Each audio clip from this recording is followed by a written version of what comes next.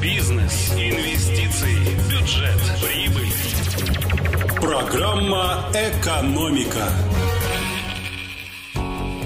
студии Мария Кожевникова. Здравствуйте. Кировчанам пояснили, почему в декабре плата за отопление будет больше. Это связано с тем, что э, в этом месяце было на 9 градусов холоднее, чем в ноябре, пояснили в Т+. Средняя температура ноября составила около минус 2 градусов, а в декабре в среднем было минус 11. Похолоданием, соответственно, возрос объем потребляемой теплоэнергии, увеличились показания счетчиков, а значит и размер начислений.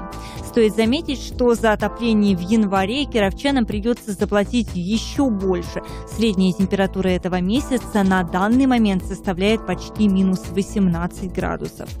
А вот если в доме нет общедомового счетчика, то цифра в квитанции будет прежней. Жители таких домов платят по нормативу с сентября по апрель равными суммами.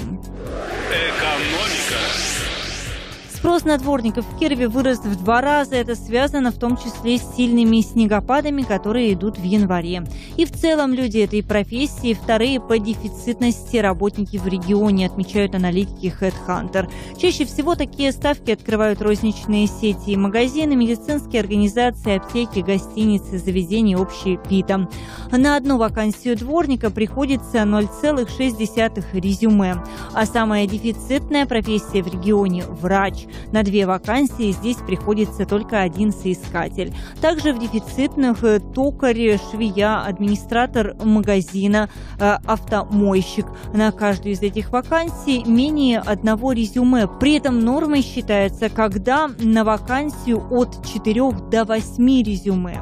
Что касается зарплаты, то тем же дворникам, например, кировские работодатели готовы предложить около 19 тысяч рублей. При этом соискатели хотят зарабатывать не менее 30 тысяч.